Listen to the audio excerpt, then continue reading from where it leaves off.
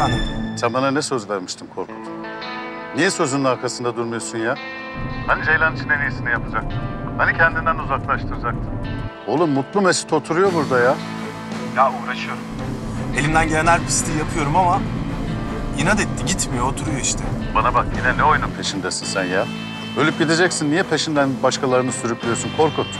Ya senin nasıl bir kinin varmış bize ya? Senin yüzünden yuvalar dağıldı. İnsanlar birbirini kırdı geçti. Tolga ve sen hastanede ölümle pençeleşiyor. Hepsi senin yüzünden.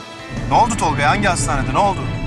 Kendinden önce birini öldürmeden rahat etmeyeceksin değil mi Korkut? Yani hangi hastanede olduğunu söylesenize.